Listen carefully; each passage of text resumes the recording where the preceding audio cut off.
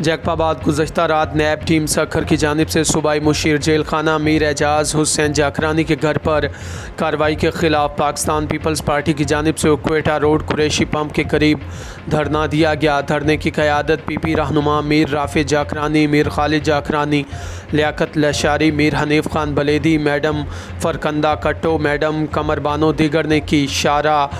Qureshi pump के सामने चार घंटे तक धरना दिया गया।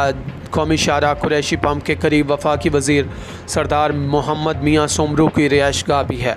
कितनी एजाज यार बस बहुत हो गया, बहुत हो गया, बहुत आपने पहले से ही बेगुना वज़ीर, एम एन सियासतदान, पहले से ही आप लोगों ने बहुत अंदर कर लिए हैं। अभी वक्त आ गया है कि अभी आप लोग ये गुंडागर्दी, ये नैब गर्दी बंद करें।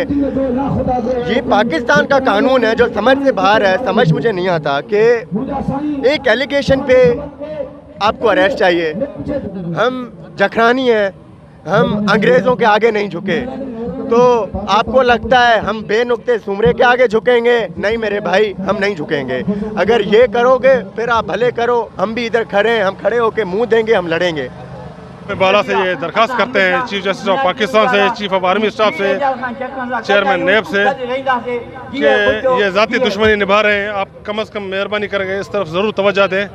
कि सियासत की आड़ में जो है ज़ाती दुश्मनी की जा रही है जगह मैसेज देना चाहते हैं कि हम आपके इन, इन नेब गर्दी से और ये सियासी हटकंडों से डरने वाले नहीं हैं। हम इनकी जाली नेब उसको मलिया मैडम मोमन मियाँ सुंगुर साहब इस्तेमाल कर रहे हैं कि मी साहब को अरेस्ट करें। मी साहब को क्यों अरेस्ट करें?